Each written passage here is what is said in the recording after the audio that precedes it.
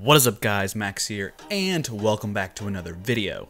Now in today's video, we'll be going over how to create LUTs inside of Premiere Pro. Now, if you don't know what a LUT is, it's basically an Instagram filter for your video, shown here. Well, to, to this video right here. I filmed in Vlog on a GH5, which is this desaturated format, and then I applied a LUT, which makes it look like this.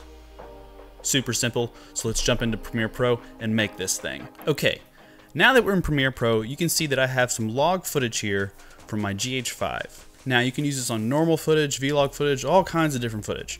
At the end of the day, a LUT stands for lookup table, which means it just changes color values to another value. So if you get the orange and teal look, you can apply an orange and teal LUT, stuff like that. You can buy them online.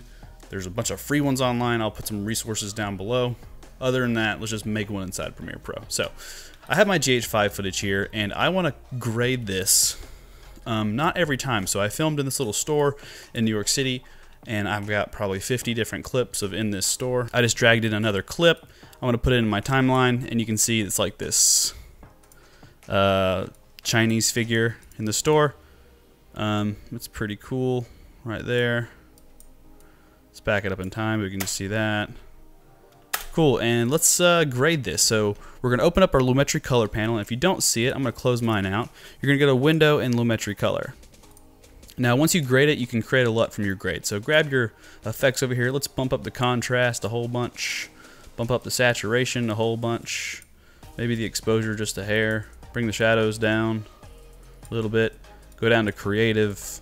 Um, nope, not creative. I'm sorry. Go down to curves Let's put an S curve on here real quick. Click, click, click. S curve, S curve. And this would be like a, a, a Rec 709 LUT that you could create inside of Premiere Pro. Now we're going to save this LUT. So you're going to click these three little lines right here and click export.cube. When you do that, opens up a dialog. I have a folder where I save my LUTs. I already created one before called Fade 709 Blue, and we're going to call this one a, a Red Grade uh, Vlog GH5. So I know it's for my GH5. I can bring this into my stuff anytime and good to go. So now that I've created that LUT, I want to use this LUT. So let's go to our next piece of footage, which is this little Asian figure. Really awesome store, by the way, in the city. The city is a great place to film. I could talk about it all day, but let's get back to the work. Anyways, so now that we have our Lumetri color panel open on this new piece of footage, we can always go to Input LUT, go to Browse, and find that LUT we just used, click OK, and boom, we have this already created inside of here. Now there might be a little fine tuning, but for the most part, this is your grade. Now, I will show you really quickly how to apply these LUTs the right way so you can really use them in the future for other things. So, um, whenever you're grading something inside of Premiere Pro, now that we know how to use LUTs, what we'll do is we'll right click, go to New Adjustment Layer, click OK, and then drag that adjustment layer above your footage. Now, the adjustment layer is where you're going to apply your LUT to, so you can easily edit it for your footage. Because once you apply your LUT to your footage on the footage, it's kind of there. You can't really control how powerful it is, because the LUT may work a lot better for this clip versus working for this clip.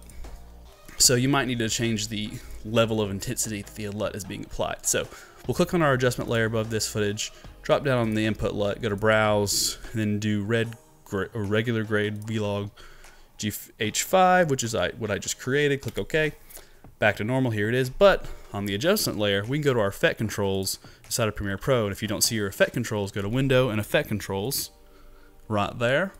Then we can just go to our opacity on the adjustment layer and bring it down to like, I don't know, 75%. And it's nice. It's a lot better.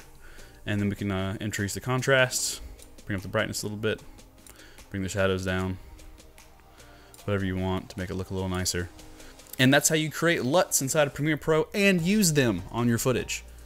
Creating them is one thing, using them is another. Lots of steps into the process. Is Premiere Pro the best way to grade your footage? Sure. For you, for me, it works. For YouTube, totally awesome. More professional stuff is more like DaVinci Resolve, a lot more control over what you do and create. Maybe we'll get into that in a different video. I also wanted to say that Premiere Pro is not the only way that you can make LUTs. You can make them in Lightroom, Photoshop. Heck, there's even custom software for making LUTs. I'd love to show you how to do that. Just ask me down below in the comments and I will gladly make another video about those subjects. Premiere Pro is great, but in my opinion, it's probably not the best way to make LUTs. Although it is fast. It's a lot faster than the other stuff because it's all inside the software.